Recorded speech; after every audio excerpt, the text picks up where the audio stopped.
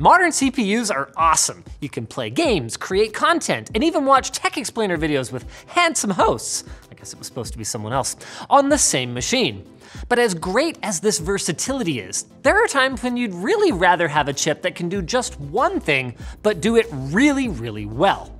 Now there are lots of electronics that contain chips called ASICs or FPGAs instead of regular CPUs, and we're gonna explain what these are one at a time, starting with ASICs. Not to be confused with the shoe company, ASIC stands for Application Specific Integrated Circuit, and it does exactly what it sounds like, processes data for one application. This is because ASICs are built very differently from your typical x86 or ARM or RISC-V general processor.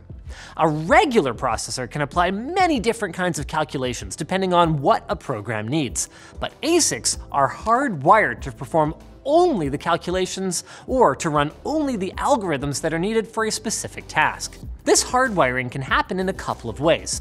Some ASICs are manufactured in what's called a semi-custom manner, where the fab has what's essentially a blank template of logic gates, which are then permanently connected according to the design the client needs. Meanwhile, other ASICs are full custom designs where the entire chip and every transistor is pretty much designed from scratch. Unsurprisingly, because ASICs are so specialized, they take a lot of time and money to develop. But because ASICs are usually for small, highly integrated devices that ship lots of units, the cost of an individual ASIC tends to be quite low. For example, the chips inside USB chargers or network switches or even electronic toys are often ASICs, but all of these are often low-cost products. Network switches are a particularly interesting application since a simple $15 unmanaged switch can handle network traffic better than a desktop CPU that costs 10 times as much.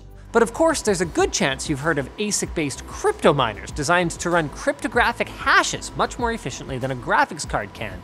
And those are quite expensive due to both demand and the fact that they aren't as mass-produced as other ASIC-based devices.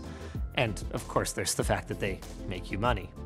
We'll tell you about the other kind of chip we're discussing today, the FPGA, right after we thank Grammarly for sponsoring this video. Thanks to Grammarly for sponsoring this video. Communications through online email, Slack, or Discord can be easily misinterpreted and can become a huge time block. This is why all working professionals need a tool like Grammarly. There's also Grammarly Premium, which provides more in-depth feedback on your writing so you can really learn. We recommend checking out the tone transformation and clarity tools. Oh boy, I could use that. I'm a jerk.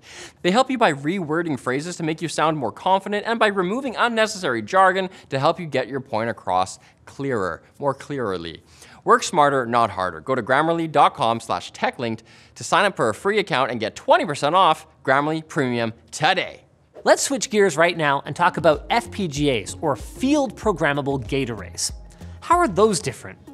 You can think of these as sitting somewhere between an ASIC and a CPU. Their logic can be customized for specific applications, but unlike ASICs, they can actually be electrically reprogrammed after they've been manufactured. You can think of the structure of an FPGA as being kind of like Lego blocks. Once you put them together, they'll stay that way, but you can always take them apart and put them back together and make something completely different.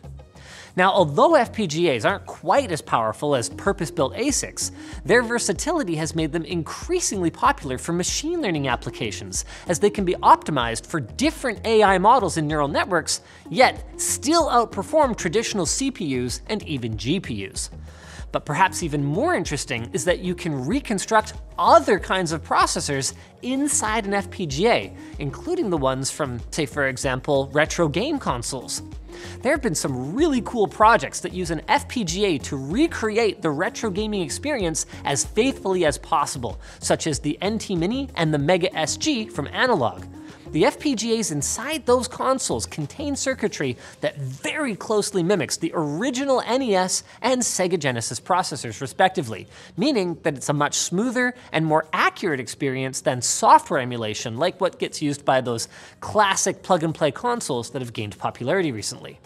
Another really awesome FPGA project is the MiSTer, another gaming device that actually allows you to choose between different old school consoles and arcade games, then reprogram the FPGA on the fly according to what you want to play. It's kind of like a transformer, but on the inside. Like that time I washed down a Mentos with a bottle of Pepsi. Oh, subscribe. That's the end.